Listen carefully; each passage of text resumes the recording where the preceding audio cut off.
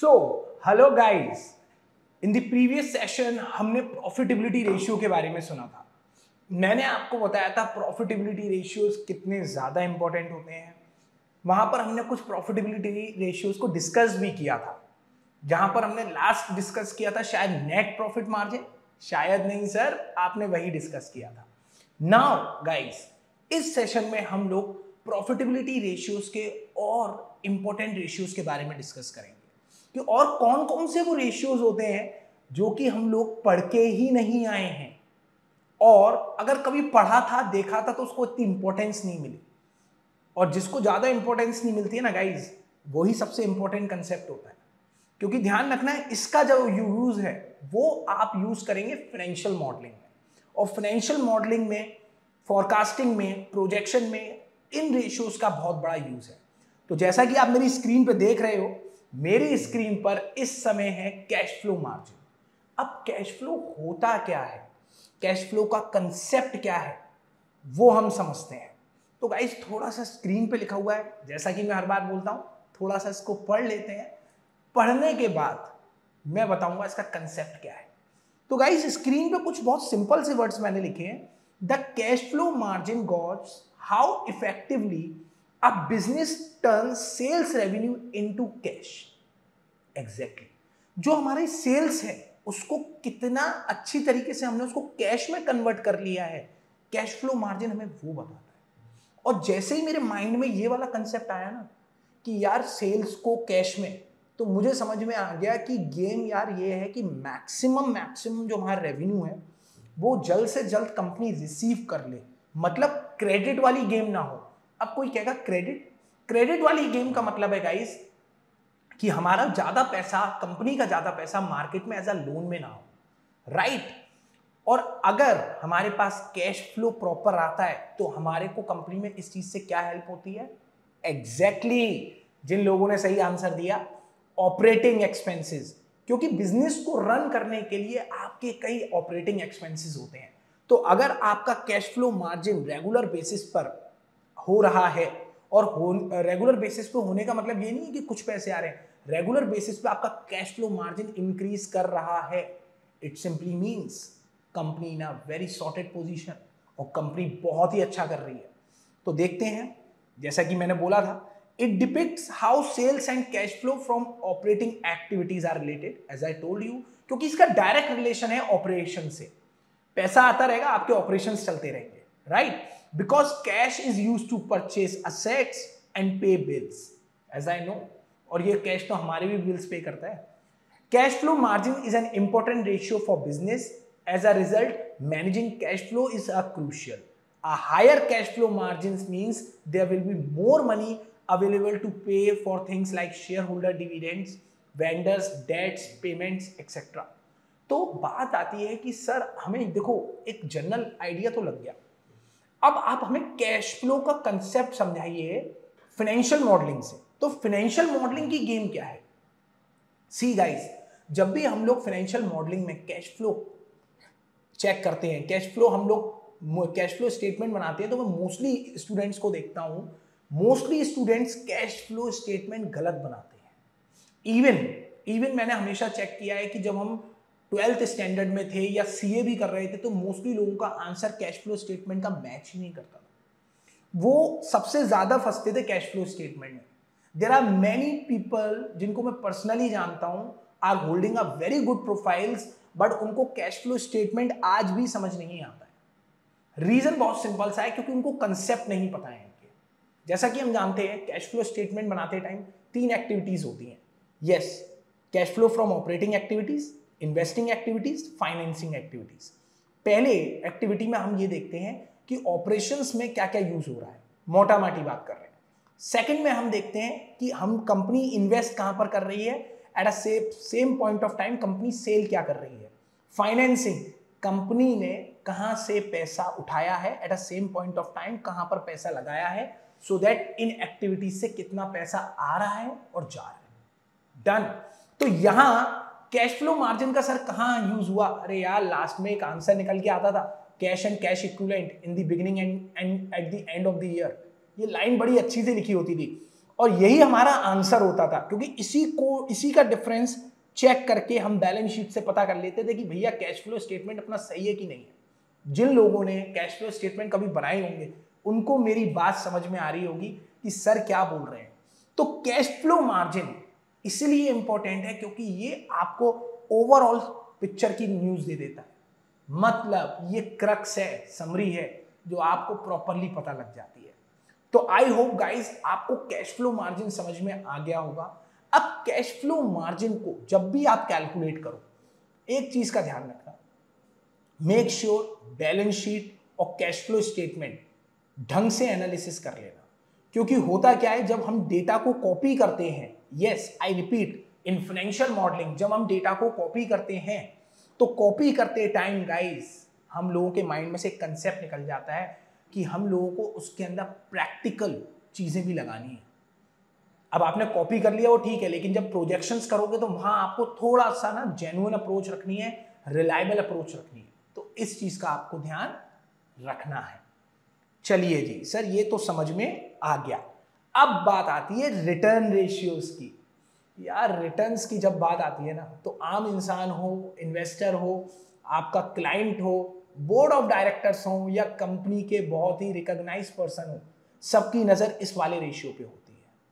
जब भी हम किसी कंपनी में इन्वेस्ट करते हैं तो being an investor yes being a trader और being an portfolio management manager मैं एक चीज़ बहुत अच्छे से देखूँगा रिटर्न मैं ये देखूँगा, बहुत सिंपल सी चीज़ है कि कितना पैसा लगाकर मुझे कितना आ रहा है। अब ये दोनों बातें कहाँ पे डिपेंड करेंगी, ये आपको प्रोजेक्शंस नहीं बताते। ये आपको फंडामेंटल नहीं बता रहा, ये टेक्निकल नहीं बता रहा। ये आपको रेशियो एनालिसिस बताता है। ऑल दो रेशियो एनालिसिस फंडामेंटल में आता है बट बहुत सारे लोग P E P S R O E R O C को कैलकुलेट करने के बाद कहते हैं ओके बाय नहीं। आपको इन सारे फैक्टर्स को कंसीडर करना है और उसके बाद उसको इंटरप्रिटेट करना है। इंटरप्रिटेट का मतलब क्या होता है? गाइज़ इंटरप्रिटेट का मतलब होता है कि मैंने अगर कोई चीज़ कैलकुलेट करी तो उसके इंप्लीकेशंस उसके आ, क्या कहते हैं कॉन्सिक्वेंसेस मैं सारी चीज़ें बता रहा हूँ। उसको बोलते हैं राइट इंटरप्रिटेशन रिटर्न रेशियो अब थोड़ा सा पढ़ते हैं। Return ratio give data that may be use to assess how successfully a business earn return and produce wealth for it shareholders आ गई बात जो मैंने अभी आपको बोली थी। These profitability measures assess the relationship between net income and equity और asset investment these statistic might show how well a business can manage it investment अब बात आ गई। अब मान के चलो मैं रिटर्न रेशियोज को ध्यान से देखू। अगर मैं रिटर्न रेशियोज को फोकस करूँगा तो मैं दो चीज़ों पर ज़्यादा फोकस करूँगा। पहली चीज़ गाइज़ मैं ये देखूँगा कि जो ये रिटर्न रेशियोज हैं, ये मुझे कैसे हेल्प कर रहे हैं? क्योंकि हेल्प तो एक ही चीज़ से होगी। जो मैं पैसा लगा रहा हूँ, उस पैसे पे जो मुझे रिटर्न आएगी, और ये रिटर्न कैसे आएगी? गाइज़ ये रिटर्न आएगी आपकी इन्वेस्टमेंट के बेसिस पे। अब सपोज़ मान के चलो मैं पहली बार पैसा लगा रहा हूँ तो मेरे माइंड में तो बहुत सारे डाउट्स रहेंगे, यार मेरा पैसा डूब गया तो। कंपनी फ्रॉड हुई तो मेरे ही टाइम पे कंपनी ने रिटर्न दिया नहीं दिया? और मोस्टली लोगों के संग होता भी है। जब वो लोग इन्वेस्ट करते हैं कंपनी परफॉर्म नहीं करती है। फिर हम कहते हैं, हाय, मेरी किस्मत खराब है। किस्मत नहीं खराब है, आपका एनालिसिस खराब है। आपने एनालिसिस नहीं किया गाइस अगर आप पास्ट का डेटा ढंग से एनालिसिस कर लो तो फ्यूचर के प्रोजेक्शंस हो जाते हैं। तो सबसे पहले आपको क्या देखना है? Being an investor return ratios पे ध्यान रखना। रिटर्न रेशियोज निकल के आए, फिर देखना कंपनी कितना नई बिल्डिंग खरीद रही है असेट्स खरीद रही है, मशीनरी खरीद रही है, कितने नए प्लांट सेटअप कर रही है, कितने प्रोजेक्ट सेटअप कर रही है। वहाँ से आइडिया लगता है कि यार, कंपनी तो पैसा ढंग से यूज़ कर रही है। और कंपनी के पास प्रॉपर प्रॉपर यूटिलाइजेशन हो रहा है रिसोर्सेज का, क्योंकि जितनी ज़्यादा अर्निंग जितना ज़्यादा रिटर्न उतना ज़्यादा expansion as simple as that तो रिटर्न रेशियोज कनेक्ट कर गया तो अब रिटर्न रेशियोज के कंसेप्ट समझते हैं। सो so, पहला कंसेप्ट है इसके अंदर रिटर्न ऑन असेट्स गाइज़ मैंने बहुत सारे कंसेप्ट नहीं लिए हैं। बहुत सारे रेशियोज मैंने छोड़ दिए हैं। उसका रीज़न ये है क्योंकि वो रेशियोज नॉर्मली आप लोग भी कर रहे हैं। समझ में आया? तो मैं उन लोग उन रेशियोज को लूँगा ही नहीं जो बहुत वाइडली अवेलेबल है जो लोग बहुत कॉमनली यूज़ कर रहे हैं। हम लोगों को उन रेशियोज को लेना है जो कि मार्केट में उनकी एक इम्पोर्टेंस है, जिनको लोग मोस्टली घबराते हैं कैलकुलेट करने से। लोग मोस्टली घबराते हैं उनका इंटरप्रिटेशन करने से, क्योंकि उन्हें लगता है कि अगर इसका इंटरप्रिटेशन मैंने गलत लिख दिया तो मेरा कंसेप्ट गलत हो गया। ओके ठीक है सर अब रिटर्न रेशियोज में सबसे पहले आता है प्रॉफिटेबिलिटी किस तरीके से इवेल्युएट होती है तो थोड़ा सा समझ लो। कंसेप्ट बहुत अच्छा है। आपको जानकर मज़ा भी बहुत आएगा। Profitability is evaluated in relation to expense and cost सब जानते हैं, सर, इसमें कौन सा बाउ फैक्टर था? It is compare to assets to determine how successfully a business uses asset to generate sales and profit अब ये तो यार किताब वाली बात हो गई। मैं बताता हूँ कि रिटर्न ऑन असेट्स का कंसेप्ट क्या है? रिटर्न ऑन असेट्स हम लोग इसलिए कैलकुलेट करते हैं, उसको इसलिए ध्यान में रखते हैं, जिससे कि हमें ये पता लग पाए कि ओवर यूटिलाइजेशन ऑफ़ रिसोर्सेज हो रहा है या under utilisation I repeat guys जब भी हम रिटर्न ऑन असेट्स कैलकुलेट करते हैं तो हम उसके पीछे हमारी एक माइंडसेट है कि हमें दो चीज़ों के बारे में जानना है. कि company over utilisation of resources कर रही है कि अंडर यूटिलाइजेशन कर रही है? ओवर यूटिलाइजेशन कर रही है तो कुछ गलत नहीं है। क्योंकि आज के टाइम में we all are very competitive हम लोग ज़्यादा से ज़्यादा अपना एफर्ट दे रहे हैं। तो ओवर यूटिलाइजेशन वैसे तो गलत ही है कि आपने मशीनरी का ज़्यादा यूटिलाइज कर लिया। But being a company employ या बीइंग अ मैनेजमेंट पर्सन मैं ये चाहूँगा कि मेरी मशीनरी फुलर यूटिलाइजेशन हो उसका। मतलब एक मिनट के लिए भी खाली नहीं रहे। काम आता रहे, काम होता रहे, मेरी असेट्स उस पे, मेरी असेट्स पे रेवेन्यू जनरेट होता रहे। अगर अंडर यूटिलाइजेशन है तो गाइस ये वेकअप कॉल है। वेकअप कॉल हमेशा ध्यान रखना खतरनाक होता है। क्योंकि वहाँ पर कुछ प्रॉब्लम आ रही है। मतलब जितनी रिसोर्सेज मैंने एम्प्लॉय की हुई हैं, उतनी रिसोर्सेज को मैं यूटिलाइज नहीं कर पा रहा। तो गाइज़ ये वाला कंसेप्ट आपको समझना है कि कितनी सारी रिसोर्सेज को मैं यूटिलाइज नहीं कर पा रहा अगर आपको कहीं पर यह पता लगता है कि जब कंपनी अंडर यूटिलाइजेशन है तो आपको क्या करना है, वो फर्दर स्टेप्स लेने हैं जिससे कि कंपनी को आप यूटिलाइजेशन पे तो ला पाओ, ओवर ना ला पाओ मतलब फुली यूटिलाइजेशन ऑफ़ रिसोर्सेज पे तो ले आओ। अब समझो, ये चीज़ आपको कैसे पता लगेगी? ये चीज़ आपको तब पता लगेगी जब आप रिटर्न ऑन असेट्स कैलकुलेट करोगे। अगर मान के चलो किसी कंपनी का रिटर्न ऑन असेट्स कम आ रहा है तो समझ जाओ कि कंपनी की जिस असेट्स फुलर यूटिलाइज नहीं हो रही है। मींस कंपनी के पास प्रॉपर काम नहीं है। मींस कंपनी अपनी ब्रांड वैल्यू पे पैसा उठा रही है, काम नहीं है इसके पास। तो यहाँ है wake up call that's why I most of the time says कि यार इंटरप्रिटेशन लिखो। इंटरप्रिटेशन जब ऐसा लिखते हो ना देन पीपल विल नो कि आपका क्लास क्या है। Right the value of sales revenue remaining after all cost expenses and taxes is referred to as net profit or net income. When the term return is used in the ROA matrix, net income divided by total assets. I repeat, net income divided by total asset. जब आप अपनी सारी income को divide कर दोगे total asset से उसके अंदर आपको ये सारी चीज़ें हटानी होती हैं after all cost expenses and taxes okay मतलब जब आपका नेट प्रॉफिट आ जाए तो नेट प्रॉफिट को क्या करोगे? डिवाइड कर देना टोटल असेट से। आपको आरओए आ जाएगा return on asset which is a very good thing अब guys higher the return on assets higher the utilization as simple as that अगर तीन कंपनियाँ हैं फॉर एग्ज़ाम्पल अगर मैं तीन कंपनियाँ लू मान के चलिए मैंने ले लिया रिलायंस एयरटेल और तीसरा ले लेते हैं वोडाफोन अब इन तीनों में रिलायंस का निकल के आ रहा है? R O A thirty Airtel का आ रहा है ट्वेंटी फाइव और वोडाफोन बेचारे का निकल के आ रहा है फिफ्टीन तो आपको पता लग गया सबसे ज़्यादा रिलायंस कर रही है थर्टी यानी उसकी जो असेट्स हैं, वो रेगुलर काम कर रही हैं और रिटर्न्स दे रही हैं। तो यहीं पर आपका इंटरप्रिटेशन क्या आएगा कि भैया रिलायंस में पैसा लगा दो। रिटर्न ऑन असेट्स रिलायंस के अच्छा है और मेरा पैसा डूबेगा नहीं। मुझे प्रॉपर पैसा मिल जाएगा। तो गाइस रिटर्न ऑन असेट का कंसेप्ट अब शायद आप लोगों को क्लियर हो गया होगा। राइट? और गाइज़ ये आपके रिलेटिव वैल्यूएशंस में भी बहुत काम आता है। Relative valuations as I told you जहाँ पर आप कंपेयर करते हो अदर कंपनीज़ का जो कि सेम इंडस्ट्री में डील कर रही हैं। जैसे अभी मैंने एग्ज़ाम्पल में लिया रिलायंस एयरटेल वोडाफोन तीनों टेली कम्युनिकेशन में है।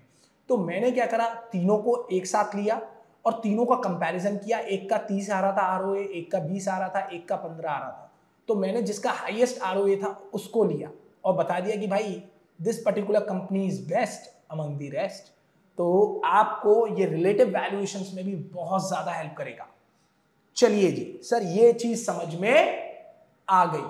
अब क्या कह रहे हो, सर? अब बात आती है टाइप्स ऑफ़ प्रॉफिटेबिलिटी रेशियोज में रिटर्न ऑन इक्विटी की। गाइस बहुत ज़्यादा इंपॉर्टेंट है ये। बहुत ज़्यादा है। अभी मैंने आपको कैश फ्लो मार्जिन समझाया था। उसके बाद मैंने आप लोगों को रिटर्न ऑन एसेट समझाया है। रिटर्न ऑन या रिटर्न रेशियो समझाया। अब बात आती है रिटर्न ऑन इक्विटी इक्विटी का जब गेम आता है तो गेम बहुत बड़ी हो जाती है। इन्वेस्टर के लिए, लोगों के लिए, सबके लिए सबसे बड़ी गेम यही है। अब बात आती है, सर, ये सबसे बड़ी गेम क्यों है? क्योंकि जब आप स्टॉक्स में इन्वेस्ट करते हो तो मोस्टली जितने भी हम लोग हैं, वो इक्विटी में इन्वेस्ट करते हैं। हमें से ऐसा कोई नहीं है जो प्रेफरेंस डिविडेंड खरीद रहा है। वैसे रेयरली मतलब आम लोग जो अगर मैं बात करूँ लेमन लैंग्वेज में कि अगर मैं इंडिया की पब्लिक में जाऊँ तो बहुत कम ही लोग होंगे जो प्रेफरेंस डिविडेंड खरीदते हैं शेयर खरीदते हैं। मोस्टली लोग इक्विटी शेयर खरीदते हैं राइट right? तो इक्विटी में जब आप इन्वेस्ट करते हो तो एक तरीके से आप कहीं भी, कहीं मतलब आप एक तरीके से कंपनी में एक मालिकाना हक ले रहे हो। अब आप ये मत कहना कि एक शेयर खरीद के मैं मालिक हो गया, नहीं। आप उस प्रपोर्शन के मालिक वन परसेंट अब जितना भी सारे लोगों को जो बेनिफिट मिलेंगे, वो आपको भी मिलेंगे। In terms of bonus in terms of dividend in terms of split आपको ये तीनों बेनिफिट आपको भी मिलेंगे, चाहे आपके पास एक ही शेयर क्यों ना हो। अगर आप उस कंडीशन में फॉल कर रहे हो तो। Right right? तो रिटर्न ऑन इक्विटी सबके लिए इंपॉर्टेंट हो जाता है, क्योंकि यहाँ से कंसेप्ट शुरू होता है। यस प्रॉफिट्स का इनकम का डिस्ट्रीब्यूशन का, साथ ही साथ प्रोजेक्शंस का। तो बात आती है रिटर्न ऑन इक्विटी में। तो थोड़ा सा इसको पढ़ लेते हैं और फिर इसको जरा ढंग से समझ लेंगे रिटर्न ऑन असेट्स के साथ। गाइस इंटरप्रिटेशन बहुत इंपॉर्टेंट है तो थोड़ा सा अपना फोकस रखिएगा। The ability the ability of corporation to generate a return on its equity investment is measured by the ROE which is important for share holders it is possible for ROE which is determined by dividing net income that is the net profit by shareholder equity to rise without more equity investment. Okay. The ratio may increase because a larger asset base that is financed by debt produce higher net income अब थोड़ा सा इस line को पढ़ना guys क्योंकि इस line के अंदर ना क्रक्स है द रेशियो में इंक्रीज रेशियो बढ़ भी सकता है because a larger asset base ये आर बढ़ जाता है क्यों? क्योंकि हमारा असेट जो है, हमने असेट ज़्यादा कर ली तो रिटर्न ज़्यादा हो गया। सिंपल है ना? क्योंकि यार असेट से ही तो कमा रहे हैं। अगर असेट ज़्यादा हो गई तो रिटर्न ज़्यादा हो गए। बट बट बट जो असेट है, हमने उसको किस तरीके से खरीदा है? गेम वहाँ पर है। इस finance by debt produces higher net income अगर मैंने ज़्यादा मार्केट से पैसा उठा के मशीनियाँ खरीद ली, और फिर मेरा रिटर्न ऑन इक्विटी बढ़ा रहा हूँ तो आप ये भी समझो कि मैं अपना रेट ऑफ़ इंटरेस्ट भी बढ़ा रहा हूँ। गाइज़ रिटर्न ऑन इक्विटी अगर राइज हो रहा है तो at a same point of time आपका रेट ऑफ़ इंटरेस्ट भी हाई हो रहा है। तो इस चीज़ को समझना, क्योंकि जब हम लोग कैलकुलेट करते हैं E B I T earning before interest and taxes तो इंटरेस्ट में वही इंटरेस्ट होता है जो हम लोगों ने लोन में ले रखा है। जितना ज़्यादा इंटरेस्ट उतना ही नेट प्रॉफिट गिरता जाएगा। आपके रिटर्न असेट्स के बढ़ सकते हैं। लेकिन आपको at a same point of time interest को नीचे ही रखना है। अदरवाइज़ आपके आर इंक्रीज तो होगा, लेकिन अगर आपका इंटरेस्ट ज़्यादा इंक्रीज हो गया तो तो नेट प्रॉफिट गिर जाएगा गाइस ओके सर ये वाली चीज़ें हमें समझ में आ गई। अब थोड़ा सा और पढ़ लेते हैं। An organization that has a higher R may be a good investment yes very true क्योंकि मैं भी इसी तरीके से इन्वेस्ट करता हूँ, और हम सब लोग इसी तरीके से इन्वेस्ट करते हैं।